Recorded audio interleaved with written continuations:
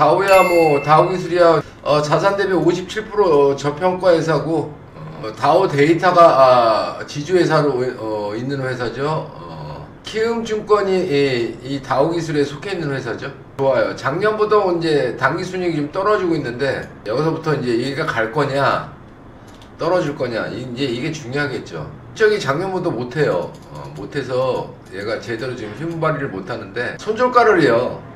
18,000원 잡으시고요. 일단 20주선이 우상향을 틀었기, 틀었으니까요.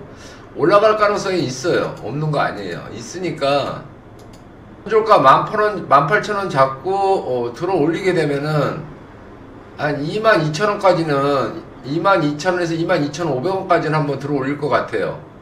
어, 22,500원이요, 요 자리. 22,500원에서 한번 체크를 한번 하시고요. 손절가는 18,000원 잡고 써보세요.